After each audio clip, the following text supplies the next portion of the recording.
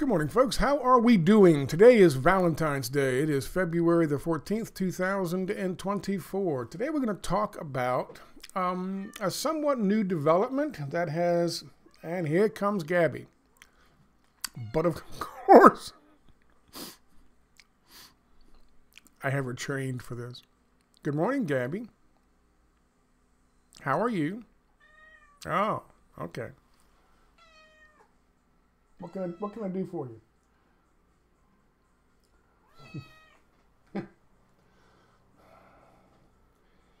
now you know why I call her Gabby. She's gonna knock that thing off the wall. And she doesn't pee on it first. Oh my god, she just makes me freak out whenever she's back there because I know she's she's a sprayer. She's a female sprayer. She's bound and determined to spray on something. Why do you have to tell everybody my secrets? God damn it. Plus, I am highly allergic to Gabby. okay, so my eyes are going to get all puffy and red. That's not because of the weed. That's because of Gabby. Okay, I just, she's going to do what she does. I, I don't, she pees on shit. I don't care. As long as it's not my computer. I don't care. Good morning. This is my this is my life. um. Okay, you just sit there and relax. Hi. Uh, it's a new development. It's kind of new. They've been kind of pushing it since about October of 2023.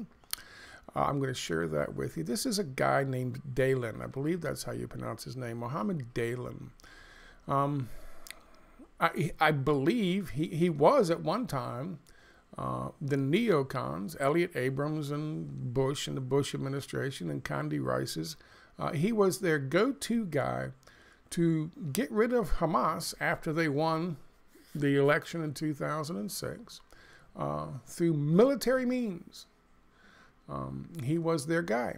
They armed him, they trained his people, um, and they had him, they tried to overthrow Hamas militarily. People who say that Israel and the United States put Hamas in power because they're an asset of Israel, you have you have no idea what you're talking about. They paid a lot of money to try to to influence the election so that Palestinian Authority would win and Fatah would win, and this guy who was already part of Fatah would win.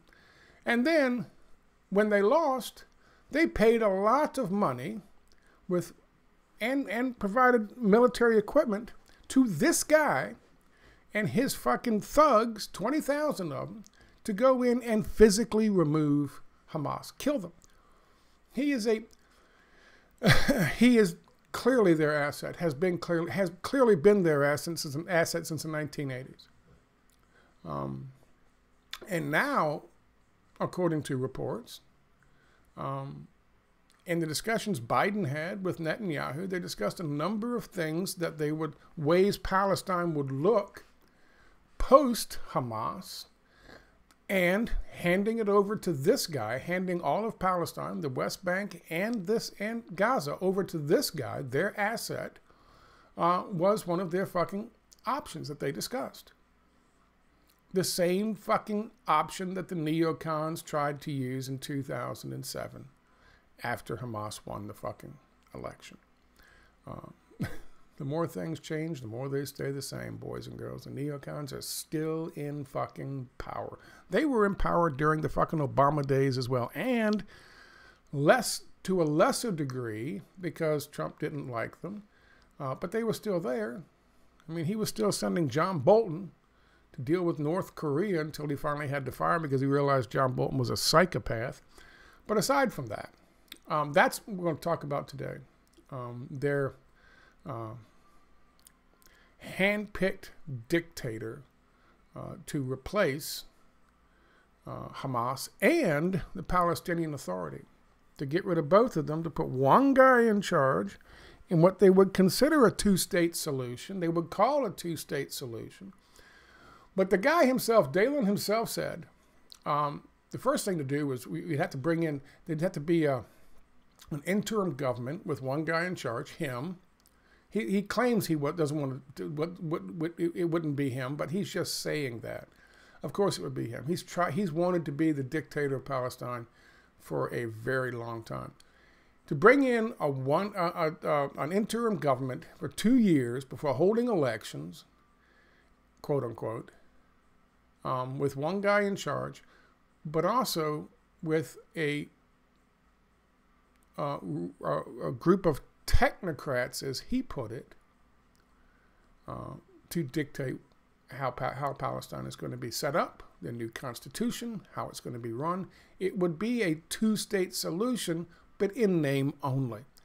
Run by a dictator backed by both Israel and the United States, imposing IMF uh, structural austerity measures uh, on, the, on the country, taking out IMF loans, uh, bringing in Israeli businesses, bringing in American businesses, all the things, all the trappings that Israel wants to do on their own if they can get Gaza for themselves. But if they can't get Gaza for themselves, if they have to go with a two-state solution, this is their this is their pretend two-state solution. It would be Palestine in name only. And there, of, of that, there is no doubt. The New York Times has written just today, published just today, an article talking about is this guy the Arab fucking choice for uh, post Hamas fucking Palestine? Um, obviously not. He's not an Arab choice. Even in their own article, I'll show you all this stuff in a second. It's all on my website. Even in their own article, they have to admit at the end, uh, there's no one uh, officially standing by this guy because this guy is hated. This guy is hated by, see, I told you the eyes.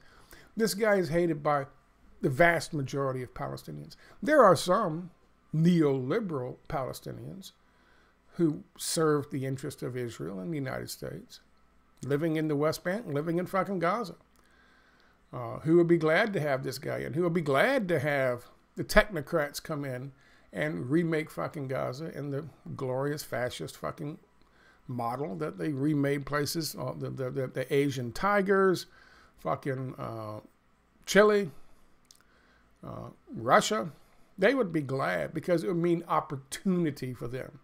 They would get fucking rich. By the way, uh, Mohammed Dahlan uh, also got rich. He was finally expelled from Gaza. He went to the West Bank. He asked Israel to finance another attack on Gaza, an attack on, uh, give him weapons and give him uh, intelligence agency agency support and give him fucking money.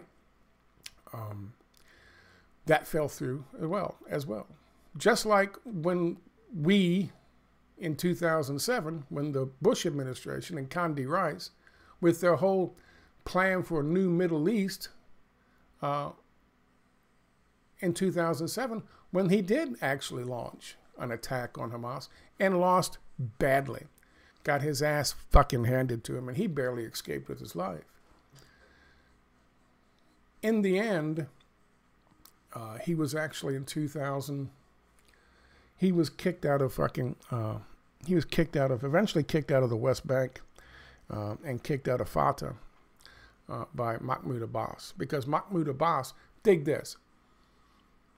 They are trying to pass this guy off as the behind closed doors Arab nation choice to run fucking Palestine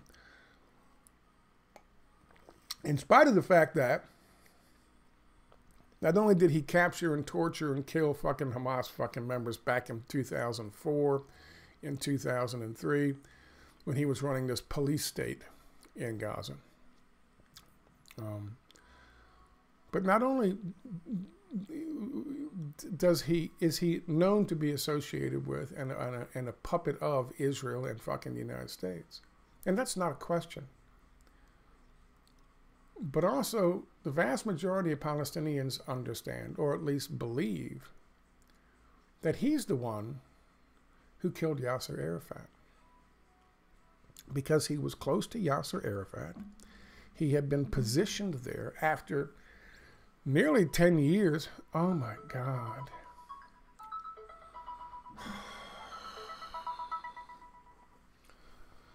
Hello.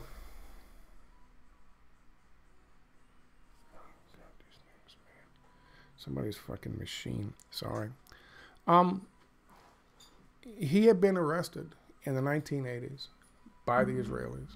He learned Hebrew while he was in fucking custody several times in the 1980s, but then he was held for a while. But then he was released just in time to go over and, and start associating with uh, Yasser Arafat's people. He got introduced to Yasser Arafat. His background, he was born in a fucking refugee camp in Gaza. And he was a member, he was a founding member of a uh, young fucking Hamas fighters, young uh, Palestinian resistance fighters back in the day. That's why he was arrested.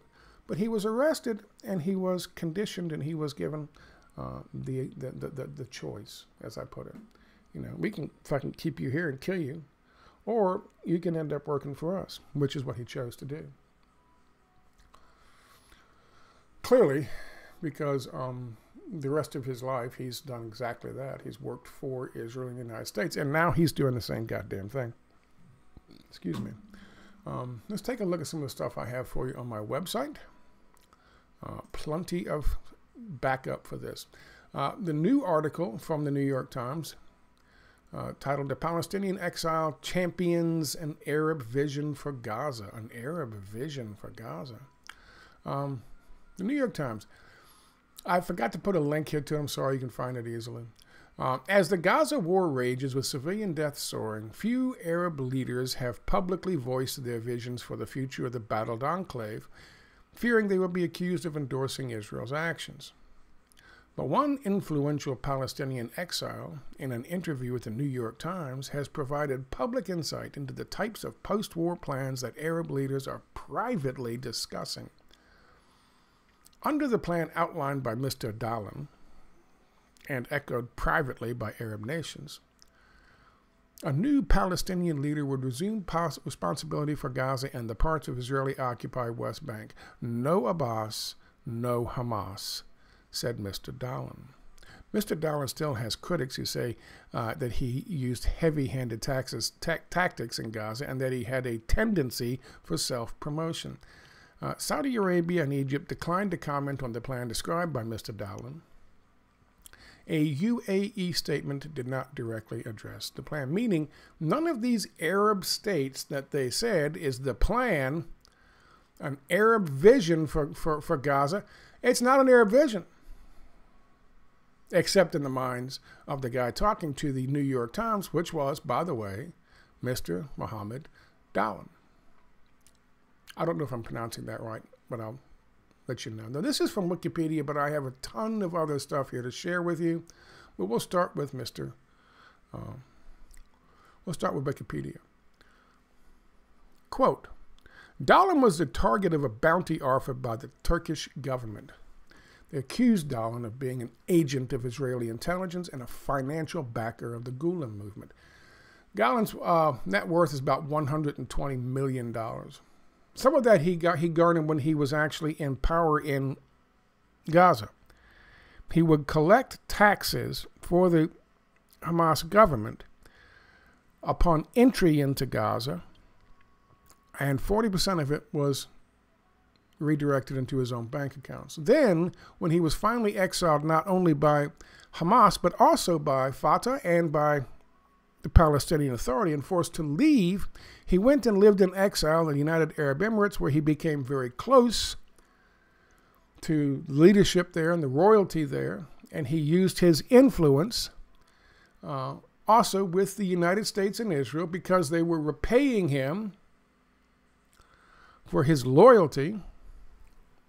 He amassed a, he amassed a fortune of about 120 million dollars, some of which, by the way, he was of course funneling over to Gulen, the Gulenist movement, because they are also free marketeer Muslims, Arabs.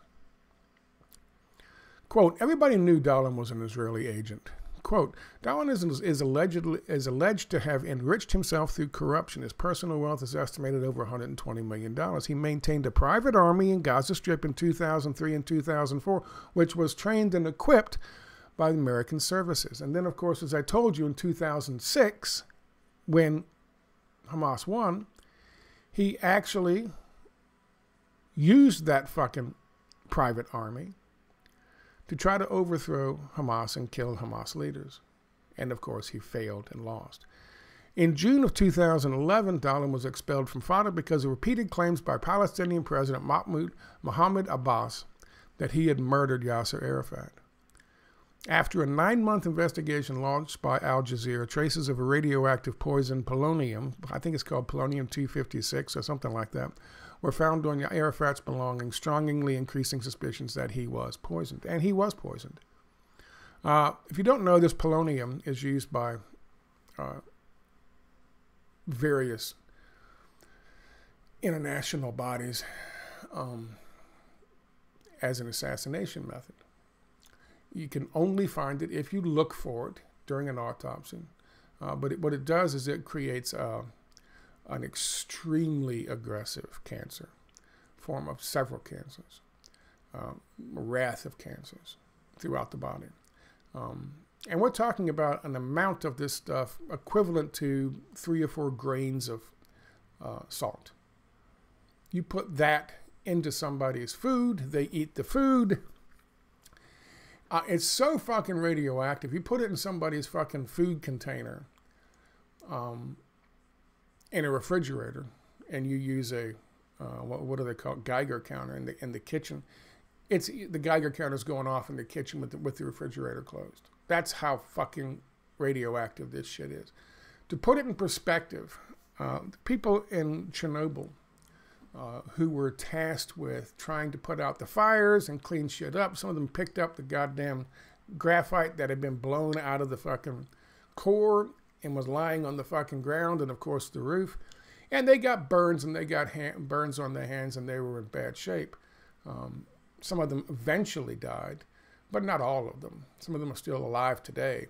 That's the shit that was, that's that's some of the most radioactive material. The, the, the, the graphite that was used back then, I guess they still use it, I don't know, in uh, from the core of a goddamn nuclear reactor. Uh, some of the most radioactive shit. Not even close to this shit. Not even close to this shit. You put it in somebody's fucking food, they eat it, they ingest it. Within three weeks, they're dead. And it's it's not possible dead. It's not maybe dip dead. And it's a nasty way to fucking die. It's a nasty way to die. Um, somebody very close to him in his compound that was, by the way, under siege by the fucking Israelis for two years leading up to it. Uh, Dahlan had that kind of access.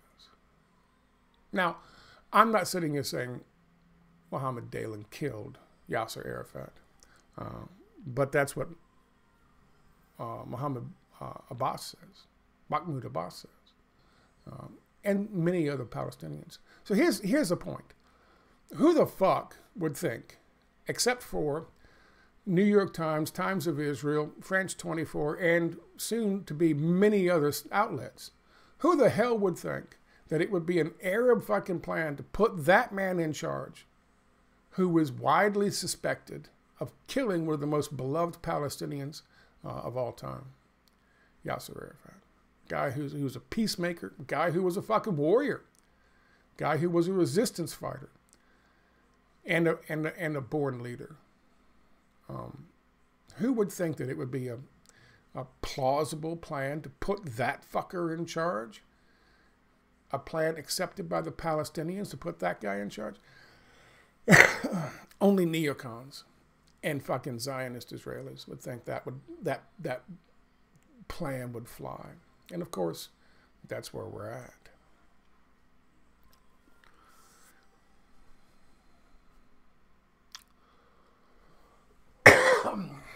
Have a listen to this. This is from JVL. This is Muhammad Dahlan. Dahlan was arrested 11 times by the Israelis between the years of 1981 and 1986. In 1988, he was then deported to Jordan and won Yasser Arafat's confidence. He was sent there by the Israelis. He was put there, and they used their intelligence sources close to fucking Yasser Arafat to introduce them. Dahlan returned to Gaza in 1994. Upon his return to Gaza in 94, he enjoyed a wave of popular support. Why shouldn't he? Understand this about him. He was born in a Palestinian refugee camp. He was an organizer uh, and a fighter for the resistance youth or Hamas youth. Um, that's why he was arrested so many times in 1981 1986. Okay? Just pointing that out.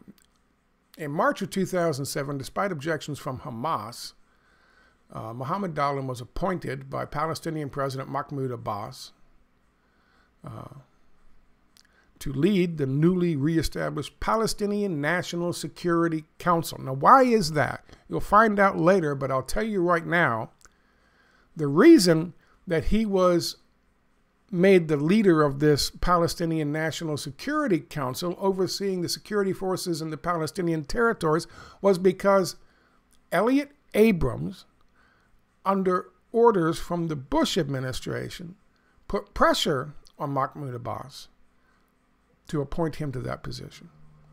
He was put there by the fucking neocons so he could undermine and attack and kill Hamas and overthrow them through a military, paramilitary fucking action. Dahlan organized paramilitary units of several thousand fighters trained with American assistance and lobbied Israel to allow Fatah forces in Gaza to receive large shipments of arms and munitions to fight Hamas. In the April of 2008 edition of Vanity Fair, it was revealed that after the 2006 elections, Dahlan had been central in U.S. plot to remove the democratically elected Hamas-led government from power. Americans provided money and arms to Dahlan, trained his men, and ordered him to carry out a military coup against Hamas in the Gaza Strip. However, the elected Hamas government forestalled the move and carried out an armed counter coup. In, our, in, October of 2007, the Bush administration reportedly exerted heavy pressure on Abbas to appoint Dahlan as his deputy. Some Fatah members said that the U.S. and some EU countries had made it clear they would like to see Dahlan succeed Abbas as head of the Palestinian Authority. That's from JVL. This is from France 24. This was October, uh, December of 2023. Could exiled former Palestinian leader Mohammed Dahlan lead Gaza after the Israel Hamas war? Hmm. The idea was being floated back as early as December of 2023. Actually, it came from, it was earlier than that. Gaza's former strongman, uh, Mohammed Dahlan, has now spent more than a decade in exile in the UAE, United Arab Emirates. But rather than fade into the spotlight, from the spotlight, he has amassed a new kind of power as a businessman and advisor to President Mohammed bin Zayed al Nahyan. Despite his long absence from the Palestinian territories, uh, is still thought of as a potential leader in Gaza if Hamas were removed from power. Thought of by whom? Not by Palestinians. Mohammed Dahlan is from Gaza and one of the heroes of the first Intifada, the Palestinian armed uprising uh, aimed at the ending the Israeli occupation of Gaza and the West Bank in 1987 to 1993, said France 24's correspondent in Israel, Stephanie Amar. He has support from Israel and support from the United States. Well, well, of course he does. But the question is whether he will be able to impose his power. There are multiple options on the table if Israel were to succeed in ousting Hamas from the Gaza Strip, which won't happen. Dahlan also spent a large part of the 1980s in Israeli prisons after being arrested 11 times for his leading role in the Palestinian political party, Fatah. While in prison in Israel, he learned to speak fluent Hebrew according to The Economist, which ran an interview with the former leader in October. I tried to get that, but it's behind a paywall, so I couldn't. But during that interview is when he talked about, uh, yeah, he'd like to bring in uh, uh, uh the technocrats, the neoliberal fucking technocrats to slam the economic breakdown on the people of Palestine after all of this shit that's already gone on. That's from France 24, December 2023. This is current from the times of Israel. Exiled Palestinian strongman uh, Dahlan touts Gazan future without Hamas or Abbas. An independent Palestinian leader, independent. now that's a joke. Backed by Arab peacekeepers, which Arab peacekeepers? The ones he says back him, but they won't actually back him? Could oversee the reconstruction of Gaza after the war between Israel and Hamas, a prominent Palestinian exile says. Him. Mohammed Dahlan, a former Palestinian Authority Gaza security chief, tells the New York Times in that that is in oh you can find the New York Times link here. There you go. That in his vision, the leaders of Egypt, Saudi Arabia, and the Emirates are open to supporting the to supporting processes that are part of efforts leading to a Palestinian state. According to him, that's his vision. The new Palestinian leader would push Palestinian Authority, uh, Palestinian Authority President Mahmoud Abbas aside to a ceremonial role and could invite countries like the UAE and Saudi Arabia to send in troops and pay for a reconstruction of the Strip, says Dahlan, who many think may be eyeing the job for himself. Dahlan's security force operated in Gaza with an iron fist after the Oslo Accords. A Gazan native, he was abroad when Hamas took over by force. That's a lie. In 2007. Thank you, Times of Israel. And after moving to the West Bank, he was expelled from Fatah in 2011 over accusations that he murdered Yasser Arafat. They got that much right. That's current from uh, Times of Israel. The curse of Muhammad Dahlan. This is this is where you have the connection, the neocon connection between the Biden administration and of course the Bush administration. I wrote neocons coming off flavors, red and blue. Here we see neocon influenced uh, Bush administration trying to pick the same dictator for Palestine as the Biden administration just did. This is from JNS written October 2023. In the frequent calls with Israeli Prime Minister Benjamin Netanyahu, U.S. President Joe Biden uh, dedicated much of the conversation to the post war political solutions. Cabinet members have come up with various ideas regarding, which of course they discussed, regarding who will control Gaza after Hamas. And one proposal was to have former Fatah strongman Mohammed Dahlan rule Gaza. This is a discussion. This is a this is a plan. This is one of their options that they're talking about. And now that the New York Times has come out and given this a loud voice, it seems like maybe that might be the plan. Remember, this would be a two-state solution in name only. Dahlan's not going to take over just to have it all turn into fucking Israel. That's not what he's about. He wants to be Al Sisi. He wants to be the guy in char- put, put in place in charge of his own country where he can be dictator. Of course, he's paid off. He's doing, like Zelensky, he's doing the bidding for outside forces at the expense of the people of his own nation, like Zelensky, and like so many fucking puppet dictators have over the fucking decades. I want to read to you something from Al Jazeera in 2007. This is a section of this article. Handpicked by the neocons to overthrow Hamas, which is the, the title of this, The Curse of Muhammad uh. Uh, this is the last thing I have. But that's the title of the Al Jazeera article, and here's, of course, the link to it. You can go read it yourself. Handpicked by the neocons to overthrow Hamas. It was Gaza based Fatah leader Mohammed Dahlan who was selected to lead the mission of overthrowing Hamas. The choice was made by George W. Bush's George W. Bush's own National Security Council Middle East advisor, neocon extraordinaire Elliott Abrams. Then the neocons were leading a campaign to construct a new Middle East, what Condi Rice referred to as uh, the birth pangs. It's called the uh, fight between Israel and, and Lebanon, the birth pangs of a new Middle East, which was the culmination of the U.S. invasion of Iraq in 2003 and then then Secretary of State Condi Rice's aggressive diplomacy in the region.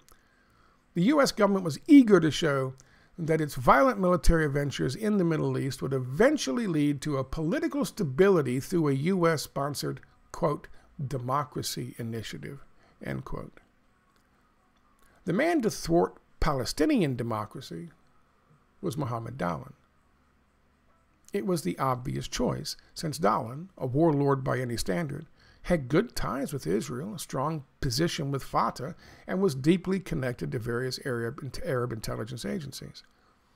He also commanded 10 security branches in Gaza at one time, dedicated mostly to cracking down on dissent, Hamas. Many of those imprisoned and tortured by Dahlan's forces, funded and trained under a program managed by U.S. Lieutenant uh, General De, uh, Keaton, uh, Keith Dayton, targeted Hamas fighters, political leaders, and supporters. This plan, of course, was a massive failure. In a matter of a few days, in the summer of 2007, Hamas routed Dahlan's forces and, until this day, single-handedly, single-handedly controlled Gaza. So he failed back then. But that's what he was. Listen, dude was, uh, could have been um, a good leader for fucking Palestine. He could have. He could have legitimately succeeded uh, Abbas. He could have. But he was taken, he was arrested, he was disappeared like so many other Palestinians, young Palestinians, young Palestinian men specifically, mostly, into the Israeli prison system where he was turned. He learned Hebrew, uh, and he learned uh, to give in to the influence of Israel and the United States. Um, and that's what he did. And that's how he spent his the, the rest of his fucking career, the rest of his life. He was an asset. Now, do I know for a fact that he killed Yasser Arafat? That he was the one who delivered the fucking polonium? Um, no. But he was there and he had access. And he would have been trusted by Arafat. He was trusted by Arafat. Um, we also know, and, it, and looking at the rest of his history, we also know that um, he was more than willing to kill Palestinians on behalf of, Israeli and U.S. interests. Um, so, say what you will about him. Uh, he also tried to overthrow uh, uh, uh Mahmoud Abbas. Um, then he tried to fucking succeed him, and um, Abbas got rid of him. Say what you, whatever you will about this individual. He's in exile for a reason.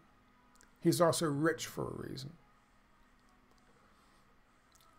No Palestinians, except for the very small percentage, the very small percentage that are neoliberal neocon, uh, uh, free marketeer fucking Palestinians ready to bring in the technocrats and, and watch the, the country turn into a into basically a fucking small fucking Ukrainian state. You know. Um, perhaps they would stand with him, but nobody else. And for that matter, even though they are trying to, uh, they, they, they, the New York Times words it very carefully. Not to suggest that somebody from Saudi Arabia and Egypt and United Arab Emirates uh, told the fucking reporters from the New York Times that they were supporting this idea, coming up with this idea. Yeah, we'll put this guy who supposedly killed fucking Yasser Arafat, a god in Palestine. Uh, yeah, we, we were thinking about, you know, installing him as a fucking new dictator in fucking Palestine for the two-state solution. Uh, at least the New York Times doesn't try to frame it that way. If you read carefully into what they say in the article, it sounds like he's the one telling them he's been talking to these people inside, and it's and it's his opinion, it's his fucking word they're taking. But they they they're very careful and how they phrase it. Um, um, that would never fucking happen. That would never happen. Um, they're never going to be able to fucking do away with Hamas in the first goddamn place. But this just goes to show you. this just goes to show you. You know, you think we're we're so far away from 2007. We're not. You think, you know, the Biden administration, oh my God, they're crazy leftists, and Biden is, he's a socialist and a commie, and he's not. They're the same. They have the same fucking advisors. They have the same interests. And those interests are BlackRock, State Street, Vanguard, Goldman Sachs, Bank of America, uh, uh, Northrop Grumman. Uh, that, that's, that, that's their interests. That's who they serve. Neocons have always served them, and so have the neolibs. Um, the fact that this thing, which I showed you from one of the articles from October of 2023, the fact that this thing is now being brought front and center by the New York Times tells me that this is going to be kind of a push. Hey, we can get this guy, and he's he was born in a fucking refugee camp in Gaza. Who better to serve? Uh, and they'll try to push this guy on folks. And I'll tell you right now, keep an eye out. You're going to see some alt fucking media figures trying to push this guy as a legitimate solution, as a legitimate means by which, as a bridge by which to get to that two state solution. A two state solution, Palestinian state run by this guy is not Palestine. That's like a RINO, Republican by uh, name only, in name only. That's that's not Palestine. That's Israel, United States. That's fucking uh, the Gulenists. Uh, that's that's not Palestine. This guy would never. The Palestinians would never fucking accept it. Would never accept it, even if they they they don't fully buy into the thing that he killed. It had to be somebody close that he trusted, somebody in the fucking compound during the, the two year standoff or the thing. Um, it would have to be somebody close. So who knows? Uh, he fits that bill. But even if they didn't buy that, they know what he was. They know what he what the, the kind of fucking rule that he tried to impose or he did impose in Gaza for several years before they got rid of him. Before he he, he showed his true colors. Okay. They know what he is. He's a puppet. He's an asset much like Zelensky. Um, and as much as the Palestinians have been through already, uh, they are not going to. If they have a shot at a two-state solution, at a real two-state solution, and a, and and recognition from Israel and everybody else in the United States, uh, Palestine is a fucking state. Notice he said that he would be in charge of the Gaza territories and the territories controlled by Palestinians in the West Bank, meaning he wouldn't move the fucking settlers out of the West Bank. He wouldn't move the settlers' businesses out of the West Bank. He'd leave the Bantustans in place where Israeli businesses can get the dirt cheap fucking labor. He'd leave all that in place. He told you, he tells you right fucking there. And when he talks about bringing technocrats in to remake fucking Palestine, he's telling you exactly who he's in service to. And so, by the way, is the New York Times. Anyway, if you hear about this guy, if you see anything in the next couple of weeks about this guy, next couple of days certainly, but the next couple of weeks, uh, be wary. Uh, I would go so far as to say this guy is not Palestinian. I thank you for your time.